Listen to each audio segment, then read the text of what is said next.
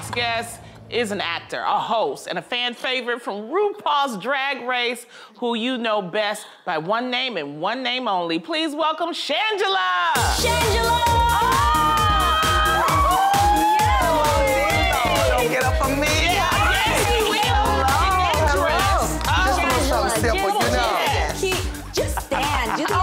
Don't my be standing. Why you even gotta You know what? know. Oh Surprisingly, I can sit in this. How about that? That's Wait, Loni, look at how we're dressed compared to Shangela. I know, we like, we, look, got on like we got the rugs. wrong memo, yo. what the? We, we got on rugs. Hey, it's fashion. It's fashion. Oh God, I am such a huge fan of you. I like. I'm so excited you're here. You're electric. Thank you. Yes. That is so kind of you. I love y'all too. Thank I can't believe I'm here. This is so fabulous. I know. Oh, okay, so let's talk about fashion first, Loni. I Yes. got to do this. Break it down for me. How long did it take for you to get ready? Did you do everything yourself? How'd you get started? Everything. Well, in drag, you know, I've been uh, performing in drag for about 10 years Mm-hmm. now. So I can do a full glam look. It depends on what mug you're going for. Right. I know divas that can slap on a 30 minute mug, okay? Okay. That's the makeup, 30 minutes. What's but this? for me, this in to out is about three and a half to four hours. Wow. I have a great, fantastic glam team. My friend Angel made this entire look for me, Oh. and Mindy. My makeup is done by Luscious Mascara, hair by Sammy. Honey, I got a whole team that just A whole put it team. together. Village. Give it up Yes. for the team. Yes. Is on it, you know? Because I did RuPaul's Celebrity Drag Race. Uh-huh, you Drag did. is no joke. Yes. I mean, that was a lot. Oh, Loni. Okay. Come on now. Yes. Oh, you look good though, Loni. You Yes, look you do. good. It, it made me feel different.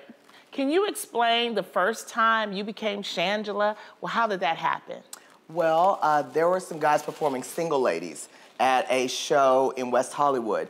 And I taught them the choreography because I learned it from YouTube. You know, I love Beyonce. Mm-hmm. Yeah. Yeah. And the night before they were to go on, one of the guys got sick and couldn't do it. Well, they needed a Beyonce. Boom. So, baby, first time ever, I went out there, my little leotard that I had gotten from Ross, Dress for less. And it was fabulous. So my mom even was there visiting me in Los Angeles at the time. She put little rhinestones on and glued it.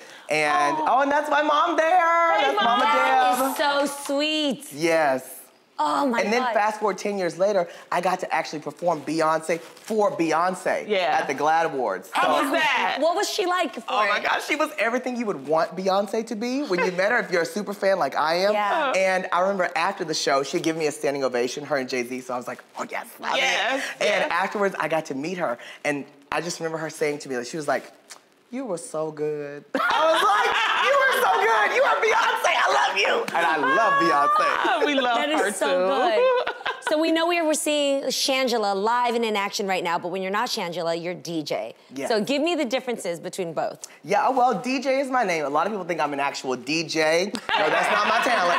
That is my name. And the difference, I would say, really, Shangela is my drag persona. It's a glamorous showgirl. Yeah. I love mm-hmm. to be like, you know, watching Jennifer Lopez in concert. You're like, yeah, she got the rhinestones and the sparkles, yep, the, turns, the totally. hair.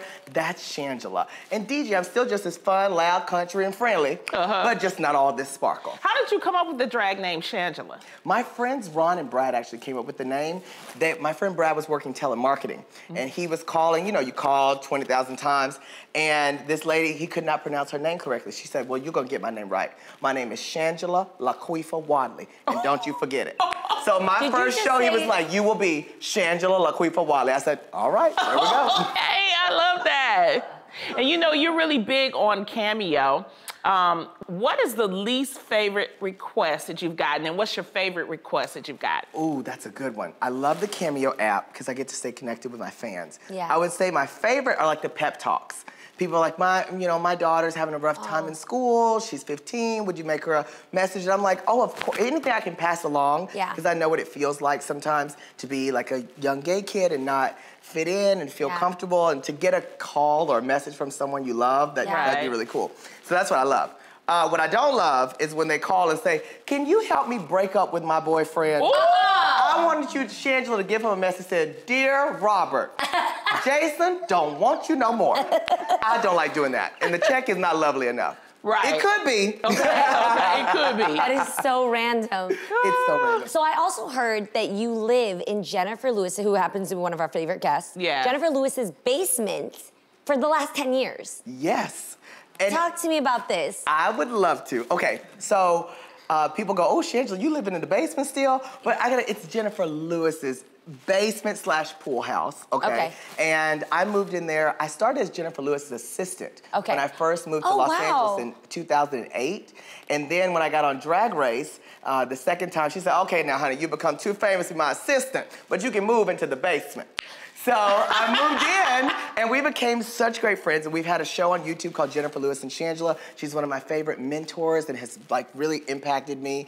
Uh, just learning so much from a professional like Yes. Jenifer Lewis. And you know, it's LA, it's rent control. So Yeah. I ain't trying to leave until the turn of the century. Right, right. I feel you. That's I a good feel you. spot.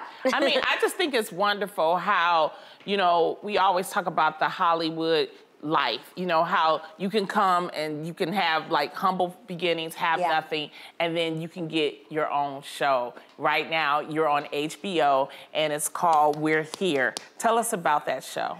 Oh, I'm so thrilled about that show. You know, I co-host that show with my friends Bob the Drag Queen and Eureka O'Hara. Mm-hmm. And it's about three fabulous drag queens traveling across America to conservative small towns and partnering with people with, to amplify their queer or queer adjacent story Yeah. and let America and the world remember what the experiences is like like they are currently for people in these small conservative spaces. Yeah. You know, we think we've made it so far with regard to acceptance and equality Yes. uh, among the LGBTQ plus community, but there's still so much work to be done and stories that deserve to be told. Yes. So coming from Paris, Texas, and now being able to be a part of this showcase, this amplification of voices and stories, I'm so proud. So let me ask you, what's your take on the Dave Chappelle situation between him and the LGBTQ community? Well, I think that oh, that's a difficult conversation. Yeah, And I'm it going is. to tell you, there are a lot more people who are more equipped to answer that conversation, specifically those in the trans community. But we are an LGBTQIA plus Explain the difference. So- can you explain the difference between transgender and drag? Like, you're not trans, No, I'm not. I'm a drag queen. and Right. people But need there to are drag queens that. who are trans, yes. Exactly. Yes. They're, but people don't understand the difference and they lump you guys all in the same boat. And it's discrimination, which is wrong, uh, you know, generally. Just like I'm black, but I'm not like Haitian black. I'm black, black. From you know Detroit, Yeah. it's a difference, and we shouldn't be lumped in. it. So people need to understand that until they figure out the differences, that you all are one community, and nobody should be discriminated against. Correct? Well, if I could give you a high five right now, hallelujah on that. Okay, number one. Absolutely. And I will say this as well. Yes, we should not be grouped and stereotyped at all uh, because we are a very vast community with a lot of differences. Mm-hmm. But one thing that runs throughout the community is the necessity for equal treatment, for us Mm-hmm. Respect. Mm-hmm. people to be accepted and loved. And that's what our show We're Here is really about. Mm. And especially for our brothers and sisters of the trans community that have, are part of a very, you know, hot topic right now. But the topic really isn't so much Dave Chappelle as it is the need for there to be kind of um, equal showing of all the great parts of the LGBTQ plus community, all the letters, okay? And it deserves to be that stories need to be told. They need to be told authentically, and people just need respect. Definitely. And we want that respect. We got a clip. We're here. Take a look. If you asked me years ago, would there be an openly gay mayor in a small conservative town, I would go, girl, no. But they voted for Bruno. What do you think that you performing in drag in this particular community is going to do? I wanted to be the mayor that I always wanted a mayor to be. I am who I am, and I'm willing to express my personality in any format possible. Knowing what we've just went through for the last year with COVID, coming out um, and embracing my community once again and performing will give people hope, especially the youth, that this too shall pass. Hallelujah. Yeah. Yes. that I cannot wait for We're Here. All right, Shangela, we're gonna play a very cool game that's gonna help us in really getting to know you. It's the ultimate test, okay? We call this game Celebrity Pop Quiz. Yeah. I love games. Okay, Shangela, we're gonna ask you a bunch of juicy, personal, and sometimes Yes. tough questions. All you have to do is give us your honest answer. Sound good? It sounds bright. Let's right. Here's the first one. What's your favorite way to start a conversation? Oh, well, you know I'm from Paris, Texas. We talk to everybody. So it's like, hey, hallelujah, how you doing? Very that. I love it. I love that That's one. gonna break any ice. All right, who in your life has the biggest impact on you and who you've become? That's a good one. Uh, I was raised by very strong women. My mom, my grandma, my aunt Sheila. So everyone in my life who has had a part of raising me has been very strong women. So I credit so much of who I am as DJ and Shangela to them. Ooh, All beautiful. right. What's your favorite smell and why? Oh, uh, favorite smell. I, you know, I love candles. They can be across the board. I think a candle can set the tone for a room, calm you down if you're running all over the place. When I'm Love. getting makeup, baby, I like that candle. A good linen scent. Ooh, a yes. clean one. Linen's a good one. All right, you're doing great so far. Here's number four. If you could invent a holiday, what would it be?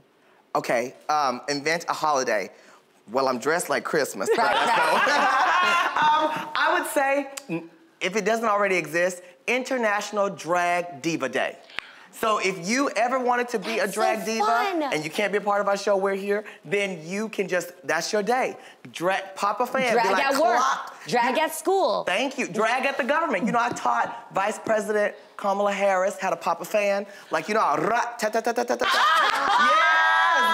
Yes, yes, the VP. She's the diva. All That's right. fun. Okay, Oof. here's another one. What's the most useful product you own? Oh, useful product I own. Um, makeup remover. Oh my God. Makeup remover. Because at the end of the day, baby, It's unless you off. want the pillowcase ruined, I'm gonna need a good makeup Yeah, because those eyes right there with the with the, the Gems? stones. Yes. How do you get that off? Well, the stones, they're on with glue, so you just peel them off. Yeah. Okay. But you still have makeup all over the face. Yes, I want you to get the good zoom. There Yes. it is. That's I would sleep in this if I could, but it'd be bad for the sheets. so, a makeup remover, a good one. I use, a, whether it's the wipes or different types of oil, Albolene has always been one of my favorites. Yeah. Like that just moisturizes that skin and gets it all off. Get it Nice. going. Yes. Skin is and beautiful. last question. Um, when it comes to your friendships, who's your oldest friend? I'm lucky because Yeah. I have a lot of long-time friends. Yeah. Um, a lot of my friends I've known for 20 years. Oh, uh, geez. two that I would call out really quickly, my best friends Sonica and Shamanda, because they're both from Paris, and I took Shamanda to the homecoming uh, game, homecoming court, and Sonica to prom. These are, and we just talked like last week, so we're That's so. Oh. Hi, Sonica. Hi, Hi, Shamanda. Monica. Well, you know what? You passed with flying colors. Yes. Thank you so much for hanging out with us today, Shangela. We love you. Come back anytime, okay? Oh, thank y'all. I will definitely come back, okay? All right. Okay. Episodes of We Here debut on HBO Mondays at 9 p.m. and will be available to stream on HBO Max.